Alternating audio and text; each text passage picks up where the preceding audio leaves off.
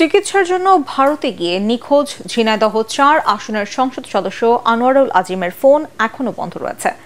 ভারতের বিভিন্ন সংস্থা সহ বাংলাদেশের গোয়েন্দা সংস্থা তার খোঁজ করছে বলে জানিয়েছেন স্বরাষ্ট্রমন্ত্রী আসাদুজ্জামান খান কামাল।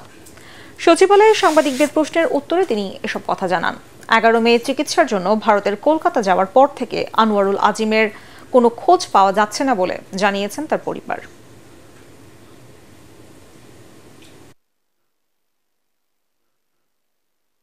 আমাদের সব গভর্নমেন্ট এজেন্সিগুলো এটা নিয়ে কাজ করছে।